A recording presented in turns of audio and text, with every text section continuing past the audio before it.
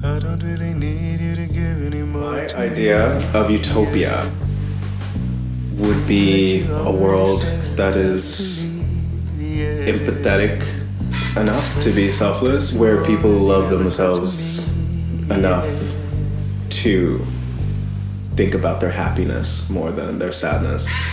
I don't know if those things can exist entirely in the same spaces, but I would hope that they would volley off of each other. I think that would be really nice. I think that'd be beautiful. At least as just a thought.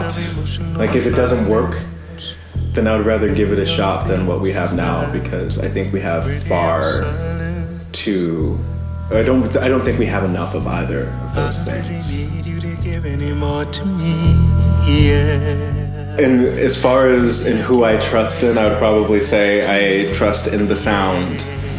Um, that sounds like a, a very typical answer from a musician, but honestly, that's that's what moves me. That's what causes me to react. I, I, I think that when I hear something and I feel good about it, or it makes me feel happy, or I feel sad, I trust that it's telling me the truth, and that's so important uh, in so many things.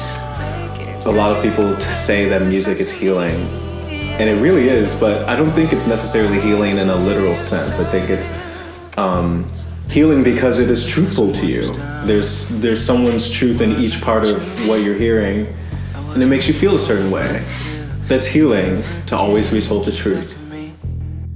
Back to me. That was that emotional violence.